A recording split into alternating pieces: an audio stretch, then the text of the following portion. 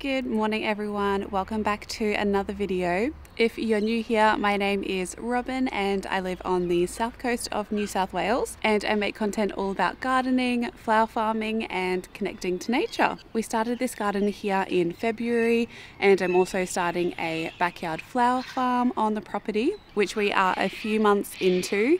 Um, but today I thought I would do a walk around the place and share with you what the garden is looking like. It's very active with birds and noises around because spring is definitely here. It's the 30th of August while I'm filming this. So this is going to be a late August garden tour. We'll start here behind me with the cottage garden.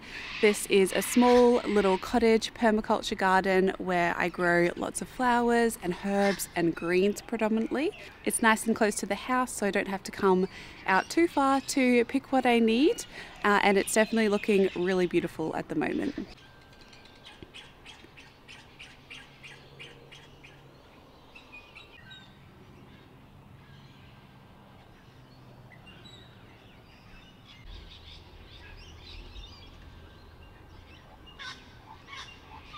It's probably not the best time to be doing a tour, but it has been raining quite a lot here, so this is the only time that I really have today to get out and share with you what's going on. But this is a little overview of the garden. I just have these little paths that you can walk through to see the different sections of the garden. We might start with this one here. Actually, we'll start with some of these pots that I have these were the uh, spring bowl pots that I planted in another video. You can see one of the tulips has come up. The one thing I'm finding with a lot of these is that the tulips are just really short. And I think that's because the soil just wasn't really uh, fantastic with its nutrients. As well as I had a lot of problems with fungus gnats which are kind of little flies. You can kind of see one flying around there which uh, disturb the soil and lay their eggs on the soil. And a lot of the pots really dried out, so still learning on how to grow bulbs in pots, but a few of them are looking really pretty in the garden. What is looking amazing still is all of the linaria that we have next to the lamb's ear. It's absolutely stunning and is probably one of my favourite flowers that I have grown so far just in terms of uh, a filler flower. It holds up really well in water. It actually held up the best out of all of the flowers that I had in an arrangement. So I have planted more of this and I'll see how that goes. Below that I have some uh, orange poppies which I can see the first little bloom is about to come. I think these are all orange, but some of them might be a pastel ballerina mix too. I'll find out soon. uh, and behind that, I have my snapdragons, which are also just about to be in bloom. So I'll have to do maybe like a mid-September garden tour so you can see all of these gorgeous blooms. But um, I really like the structure of how I have layered this garden having something really small down the bottom, the lamb's ear, linaria for spikes and pops of colour, the beautiful uh, ferny foliage of the poppies, and then the snapdragons which spike up behind them. The broad beans behind that also they add a lot of contrast and height to this area. And yeah I'm just overall so happy with this little patch. I think it just looks so pretty. Next to the linaria I have one of my roses that I planted. This is the Jubilee celebration and it is looking really happy. It's got all new shoots. I think I might fertilize this again today with some uh, seaweed solution. Do have a problem with some of the broad beans falling down because we do have a very windy climate here, but I might stake those up, just tie some string around them. And I also just have a lot of little herbs scattered around, like I have some parsley here, some thyme, this is another one of those uh, pots. I've got some hyacinths in there and some gorgeous native violets. I've got some tall spiky uh, everlasting daisies there and some poppies which have started flowering. I really love the uh, seed pods on poppies. I think they look so pretty. We're still harvesting lots of kale, And then coming around here, I still have my giant radish that I'm letting go to seed. It's humongous, it's massive. In this little patch here, I have some Nigella planted that I planted as a cool flower, which is just starting to wake up now, as well as some more statice, some catnip, and then along here I have a row of coriander. I love coriander. Some more herbs. I have some flat leaf parsley, lots more coriander, uh, and some society garlic which is also flowering. And these flowers are edible as well as the leaves. Lots of uh, weeds around. I also have some of my Queen of the Night tulips that are flowering. Again, they're very small, but that's okay. Tulips don't grow fantastic in our area just because we have really clay soils. But I think over the years, as I amend the soil here, we can get some tulips out. And then on the end here, I just have some oregano that I would like to kind of like spill out over this area. So that is that little patch. Over here, uh, I've got more of the spring bulbs that I have been enjoying every single day. Oh, the cockatoos are going crazy. The anemones are so pretty and I've been really loving these, as well as the hyacinths that are kind of on their way out. Second flush there. But yeah, in this patch, there is pretty much the same stuff kind of going on. We've got lots of Linaria down here. Uh, a little bit of stock still flowering. The silver beet is looking beautiful and we've been harvesting quite a lot of this and that is next to the strawberries which I've been struggling with lately because a bird comes to peck them all off so I need to net these and it's not going to look that pretty but I am probably going to figure out some solution and move a lot of these to a raised bed where I can just have them netted uh, constantly but yeah there's so many flowers on here for strawberries I have another David Austin rose back there, which is looking really healthy actually. Uh, and then a row of onions that I had planted ages ago that we've also kind of just been using as spring onions sometimes. And I think I might continue to do that with these.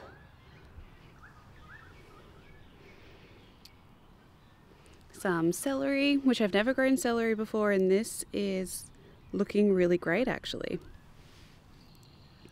Celery likes a lot of water, which this is getting with all of the rain that we've had. So I think it's just, yeah, loving life with all this rain at the moment. And then next to that is some jonquils that are just so pretty on the border. Then I have a little bit of lettuce here behind that I have been harvesting. It is going to seed at the moment, but I'm going to be planting a lot more soon. Still got some pak choi flowers that are flowering here, some busy bees.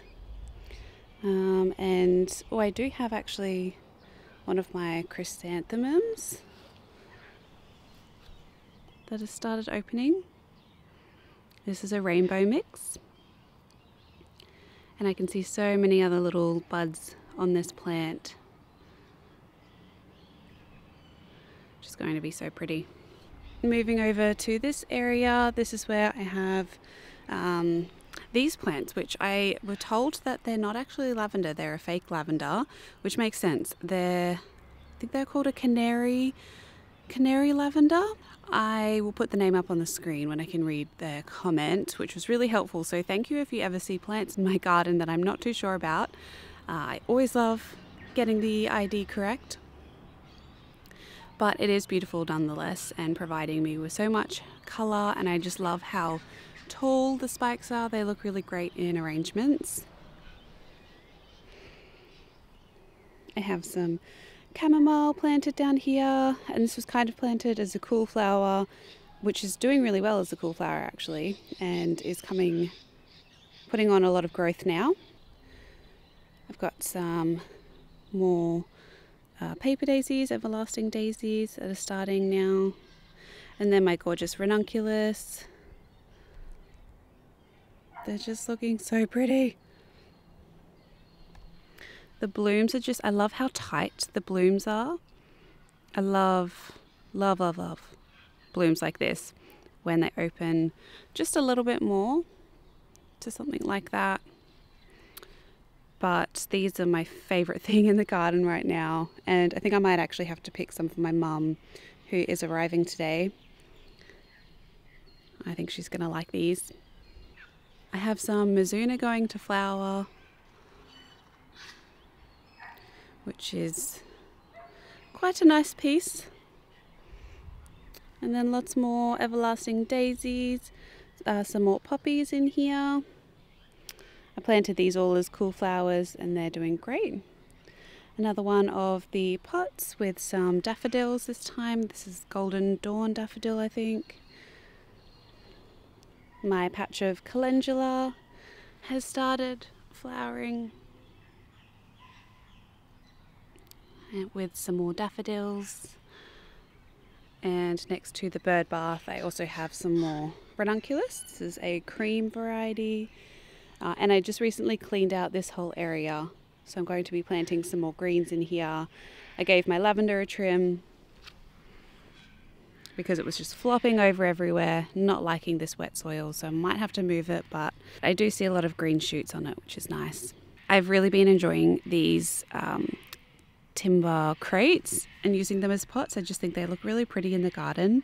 And behind them I have my rhubarb that I planted with Diane, a random little cabbage that I need to harvest. Uh, and then I have my Melaleuca sea mist plant back there, which I really don't like the placements of the snowflakes around them. I'm going to move those next year, but for now, it kind of looks like a little shrine around the Melaleuca, which is fine. it's fine, we'll deal with that. I have also planted a row of Aquilegias in here and some sea holly that you saw in my other video I have a patch of snapdragons over there and woolly bush there and over there, which are going to be nice spikes to kind of hedge this area off. And then the last section here, look at how amazing my borage looks. Seriously, it is absolutely stunning.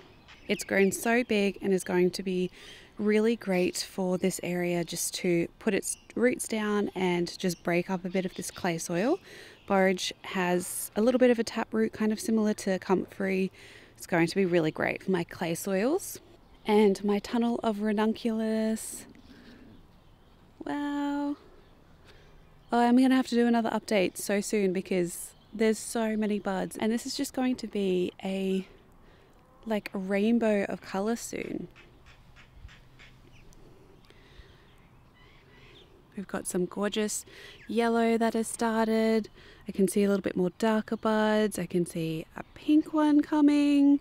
There's pinks, whites, purples, yellows, so many different colors of just a mix that I chucked in here.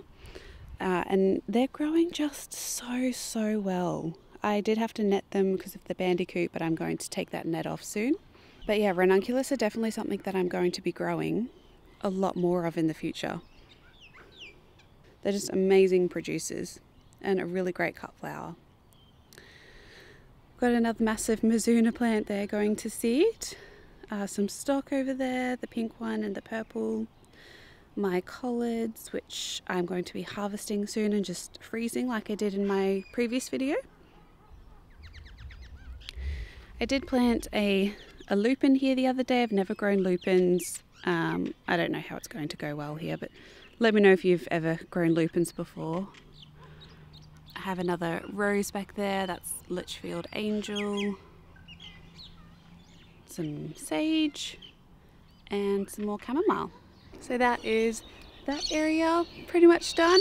Lots going on, lots of flowers, lots of new blooms, which is exciting to see. Yeah, I just really love coming out here and picking some herbs and just enjoying the flowers I really would like to have like a better outdoor seating area here where I can enjoy it a little bit more but that's what's going on in this garden for now and I will take you down to the native garden area and the flower farm to show you what is happening down there now.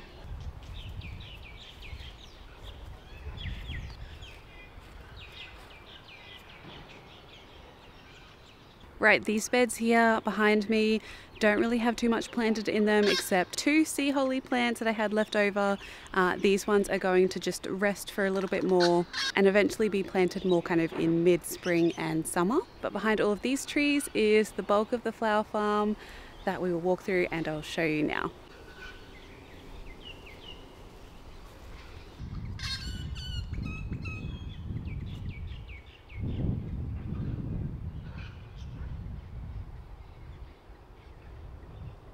So we have about five rows done, which is super exciting.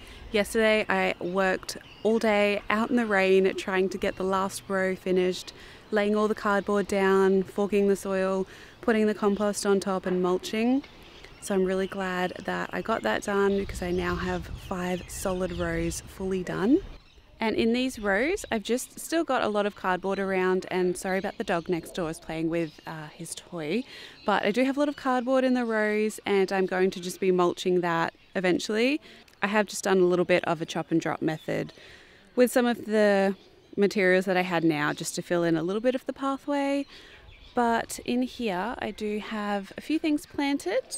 In this row here, I have a lot of uh, Billy Buttons, Sea Holly, and statice. And then a whole other row of statice here. And then this is the bed, or at least this side of the bed is what I finished yesterday.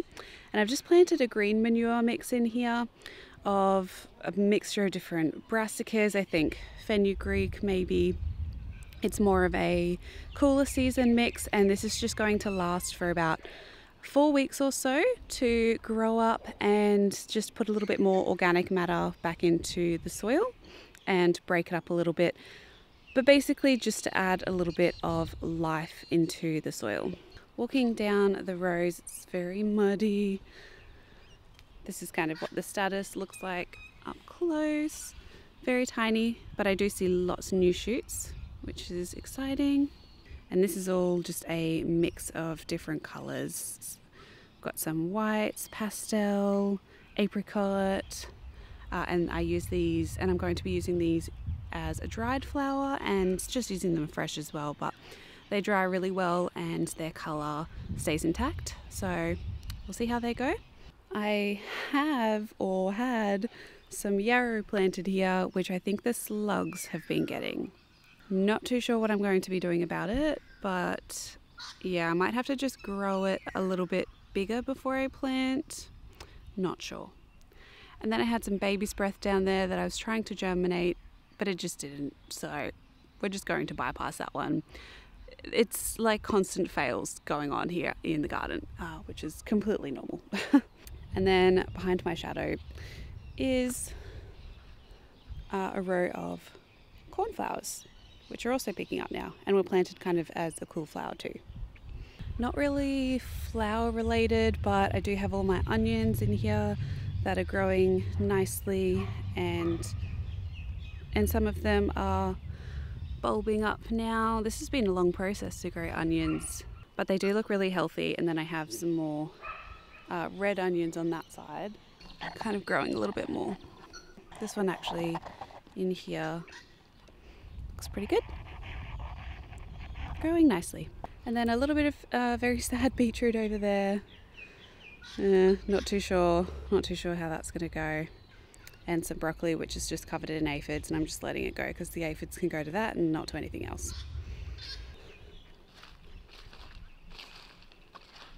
I will definitely be filming a more kind of dedicated flower farm update video in terms of just like what my plans are, what I'm growing, what I've sown seeds, like all that kind of thing, how much money I've spent, the whole thing.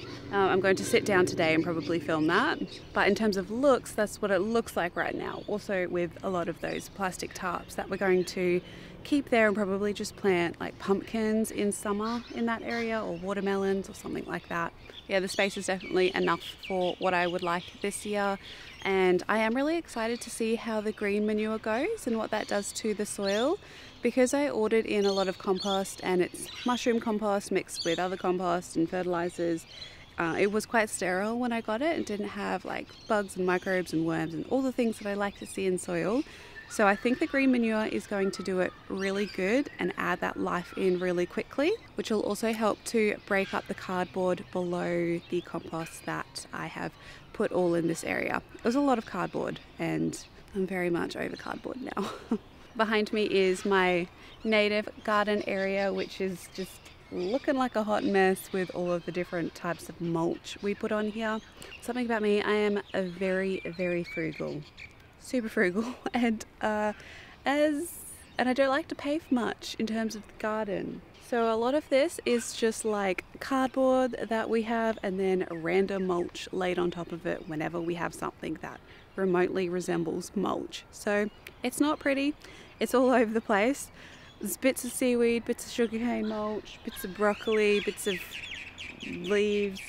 We even sometimes put cat litter around here nothing edible is in this area so we're just trying to like smother the grass and have less areas to mow pretty much.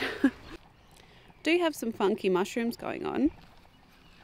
It's cool that I actually just stepped on but this is a really good sign because it means that the soil is breaking down and all of this area is turning to soil which is what I like to see. So any type of uh, fungi activity I'm okay with a lot of what we have here planted is leptospermums, leptospermum, mat rush, which just helps with clay soil and and water retention because this area is super muddy.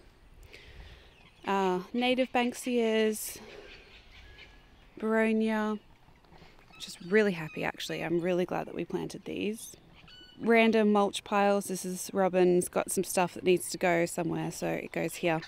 Leptospermum, really sad little seedlings.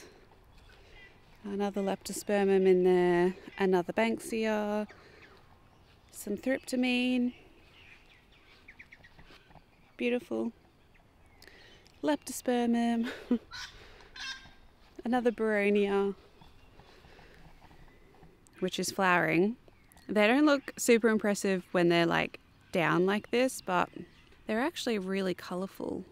I also wish that I could describe the scent of Boronia, but it's like one of the most complex little flowers I have ever come across. Like, it is so pungently rich in its the levels of like scents that you get when you smell the flower. I don't know, at the start when you smell it, it smells kind of rosy and then it just like hits you with this sickly sweet, beautiful scent. I don't know, it's like just amazing. I love the smell of boronias. So maybe if you haven't, try, try growing some boronias. I, I never knew how beautiful they smell. Alright, that is pretty much it for today. Lots going on, lots about to happen. I'm super tired, super busy, like planning everything, growing stuff. Um, yesterday I was a complete mess, like covered in mud. It is definitely the least glamorous job ever, but I absolutely love it. And I'm so excited to share how the flowers look over spring and the cottage garden and yeah, just so much more happening. That is it for today's video. Thank you so much for coming along with me and taking a walk in the garden with the 50 million other birds that are around at the moment. They're super happy super involved in my videos, just want to be around, just want to have their say.